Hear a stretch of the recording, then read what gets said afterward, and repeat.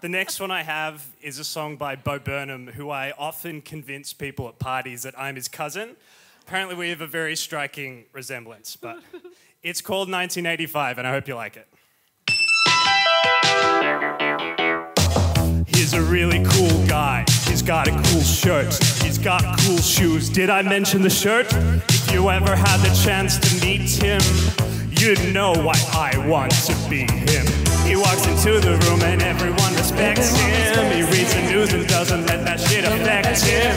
He's really happy, he's thrilled to be alive. His name is any white guy in 1985.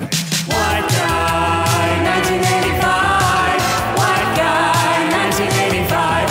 White guy, 1985. White guy, 1985. He's got a job and a family. How does he do it? Balances work with his wife's underwhelming cooking. He's got all the answers that I want to know. How can it be what I am? But 40 years ago, gee whiz, he got it and he wrong. I am the thing he is, but he isn't when I won't. I guess it's true that some people really have to fight to survive. Some people are white guys in 1985. White guy, 1985. White guy, 1985. White guy, 1985. White guy, 1985. Wait! Guys, I'm not saying it was easy being any white guy in 1985. Rob, what were you doing in 1985? I was doing a lot of motorboating. Oh man. that doesn't sound easy at all. She was. And I'm not saying it's hard being a white guy now. I've misspoke. I don't mean to lump a group of people in a hive.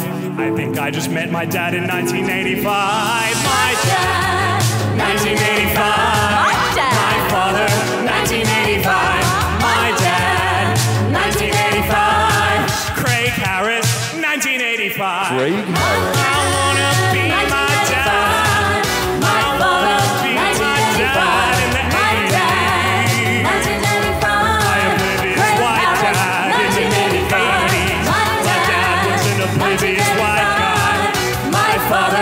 Happier than I am. If I could be anybody, dead or alive, I would want to be my dad in 1985. Well done, darling. Oh, thank you. Thank you so much, Joel. Thank you. Father son reunion there. They've been apart for what, 10 minutes?